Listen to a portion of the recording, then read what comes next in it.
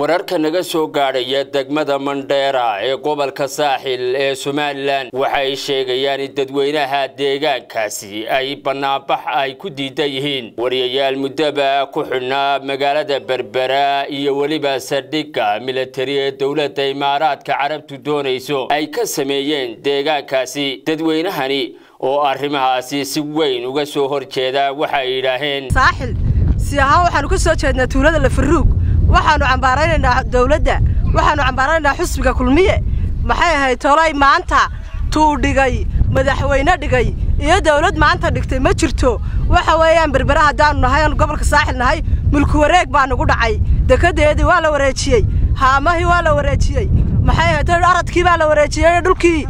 Waxa la wareejiyey ciiddii maanta waxaanu lagu yeedhayaa ajanabi maanta waxaanu lagu yeedhayaa dad aanu garanaynin oo aanu isku diir ahayn oo aanu isku waddan ahayn oo badan noo dhexeeyaan maanta waxaanu leenahay waxba kama jiraan oo ma dhici karto taad maanta u haqal taagaysaan. Waanu diidnay. Madaxweynaha le waxaa tidhi muruqa laba suulle nin basilaa waxay annaga nala tahay muruqa laba suulle.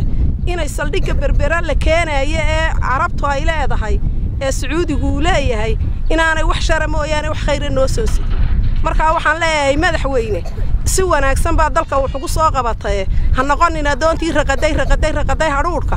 Ee midhkii u dambeeyey ka kacda degmada saaxil waxyaabaha ka socda dhulboobka ka socda xeebihii dhammaan oo lada boobay. Waayo markay maamulkii sare iyo madaxdii iyo maxaan kudhay madaxtooyadii ay boobto tacadigii ay ku sameynayay ka duubayeen baa loo yimi ciidamaa loo keenay inamadii saxaafadda جردل بالو سميغي و خدو ولا بربري وال خليين ما انت 17 خليين 17 أي خليين وحنا كلنا كحدلينا الله أكبر الله أكبر. وحنا كحدلينا عيدمده لكينا يبان كور ايربورت صاحب taxamar ka dhacaysa waa la arkayaa. Dhibaatada ka jirta waa la arkayaa. Waxaan ka hadlayaa saldhigga military ee la keenayo dalkeena ha daaya baan leeyahay. Saxaafadda shaqadeeda qahaysatay ee la qabsaday ee laga burburiyey kamaradii ee toddobada cisho xidhan ha soo daaya baan leeyahay. Si dhaqsalay weli saldhigga militariga ah ee la keenayo ma ogolin waanu ka soo horjeednaa inamada yara wariyayaasha ah shaqadoodii gudanayay sharci darrada lagu xidhay aan xilligaa maxkamad la hor keenin oo dembiga leeyin firada loo saarin. Waxaan leenahay si deg deg ah loo soo daayay